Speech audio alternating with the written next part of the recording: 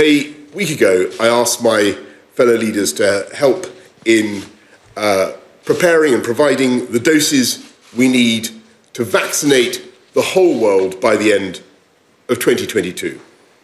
I'm very pleased to announce that this weekend leaders have pledged over 1 billion doses, either directly or through funding to COVAX. That includes 100 million from the UK to the world's resolve to tackle climate change, but also our democratic values. What we as the G7 need to do is demonstrate the benefits of democracy and freedom and human rights uh, to the rest of the world. And we can partly achieve that by the greatest feat in medical history, vaccinating the world. We can do that by working together to stop the devastation that coronavirus has produced from ever occurring again.